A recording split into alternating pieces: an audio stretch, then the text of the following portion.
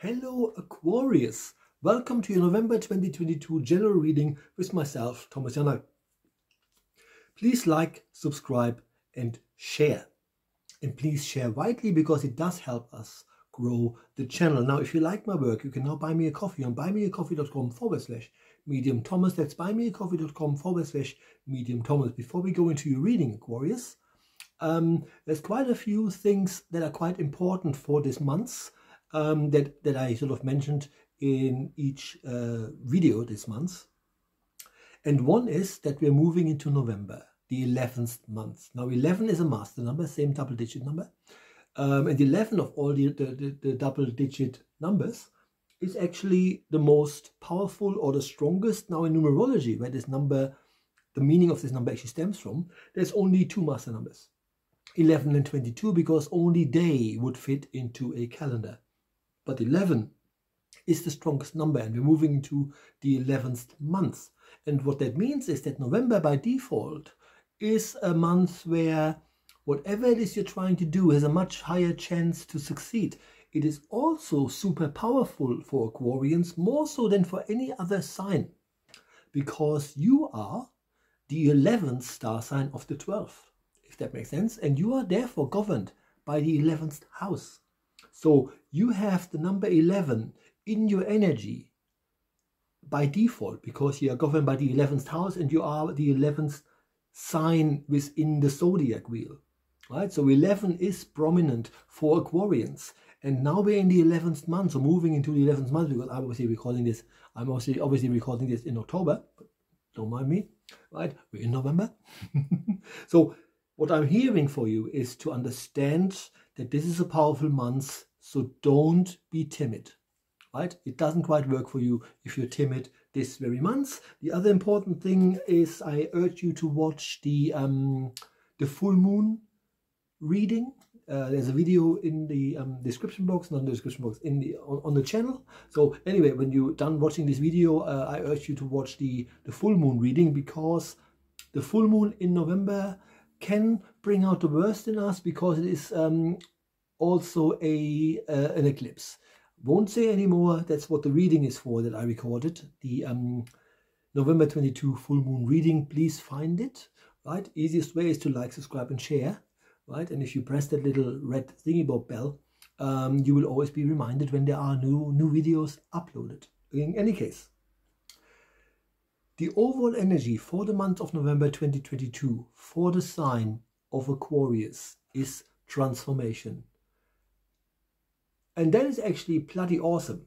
Because remember, we just talked at length about how important the number 11 is and how powerful the number 11 is and that it shows up twice, once for Aquarian, one for November, if that makes sense. And then you have transformation, which means you are not stuck. You can unstuck yourself. Really, really important. If you thought about, I need to have changes.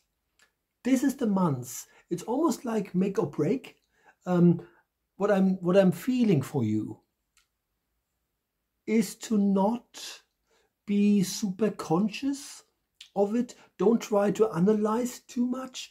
Uh, um, go with what your your intuition tells you. I'm not asking you to just leave your job and then I'm not going to be able to, to pay the rent, right? But I'm also getting that um, if you did such a thing, there's a good chance that you won't that you won't be under a bridge, right? So the point is, if you feel that life isn't progressing the way it should, then this is the month for you to actually make proper changes rather than just bide your time, wait for, I don't know, better weather or whatever you're waiting for, or opportunities to come your way. Um, because at this point in time, the overall energy is about uh, literally kicking ass and um, bring about the changes by, by willing it to be that way, right? So that was the overall energy. Now we're going into your emotional core, which is about whether or not trauma can go. Love is coming in. And guess what? Love is coming in. So, what more can you possibly want? What the guides are saying here to uh, Aquarians is this. Should you be in a relationship and it's more like benefits uh, friends with benefits it's more like okay it's, it's good fun but that could literally be anybody, right?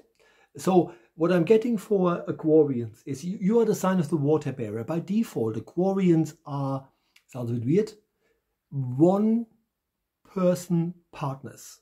That doesn't mean you will only have one one person in your life, but you do like the feeling of this is my unit, this is my partner, this is where I belong, this is who I share deep emotional stuff with and intimacy with. So it is quite important for you to um, understand that you're someone's you're someone's special person, if that makes sense, right? So what I'm getting is love is coming in, but reflect on do you actually truly have love in your life with whoever you with? Or is it all right, but it's not going anywhere, right? Because it's a progressive uh, energy this month.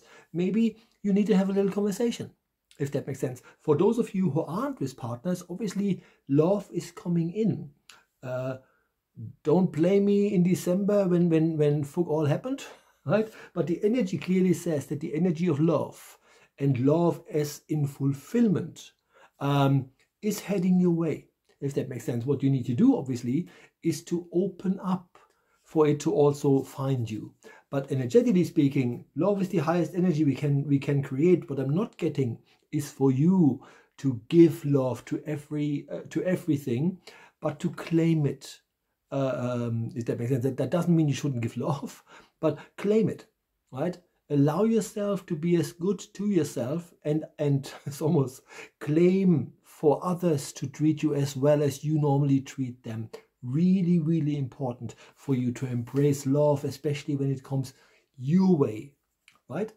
Um, because you're by default like i said the, the sign of the water bearer. And so you're a very giving sign and sometimes that backfires which you very likely already know. Lastly let's look at opportunities as they come to you in the month of November 2022. And while I, it doesn't feel to me as though opportunities are plentiful, you are asked to take action. In other words, if there's anything that is um, that is un, unfinished, where you kind of go like, yeah, well, I'm just waiting for this to happen, and they promised me when this happens, then this happens. If that sort of scenario, um, where you're waiting for someone to say, yes, we chose you to be the new manager or something along those lines. Um, well, I'm not saying you won't be the new manager. What what what I'm getting is is to to number one be proactive. But I'm also getting because remember your over energy was about you know making changes. Maybe being active is about looking further afield as well. Um, so this energy has come up in quite a number of readings this month to not feel uh, or, or, not bind yourself to something specific just because you know it well, if that makes sense, especially work-wise, because opportunities for the most part are about what sustains you financially. Okay? Aquarians, that's all I got for this month. Like I said, please like and and and like can't talk, like, subscribe, and share. And please, please, please do share because it is quite interesting. Um, I have way more people watching the videos than I have people subscribing to the channel, and um, it is a bit disconcerting, right? Because it would be nice if people would actually um, visit us uh, regularly. Okay. Thank you so much, Aquarians. See you all next month. Bye bye.